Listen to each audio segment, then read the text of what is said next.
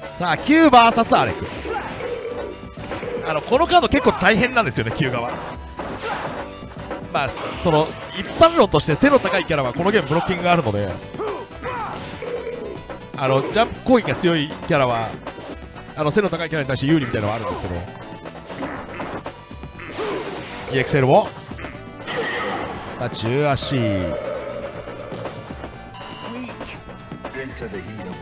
さあラウンド2あー SA 副部なんだ。な連続じゃねえんだ突進さあお互い攻めてはいるんですがガードが固めなかなか痛い技が通らない。突進腹部決めて追い打ち PA いや半分一気に減らしたな。おおやってきたアレクが。エクセルも差し込んで画面足わかんないよこれ。大パンいやー膝レイと画面足は出ちまうがどうなる？膝ボム残る？いやー大足。下がったのはティーラーレクってことは